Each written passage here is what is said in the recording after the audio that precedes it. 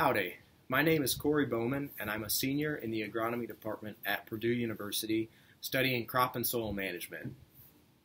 I came to Purdue as a junior transfer student, having done my first two years of school at a small Christian college in central Kansas, and then taking a year off of school to follow the wheat harvest.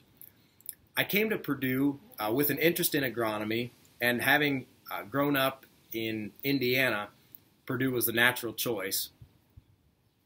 I came expecting a top notch education, which I have gotten to the full. Um, but what I didn't really expect was all the wonderful connections that I've made, both with peers and with faculty and staff.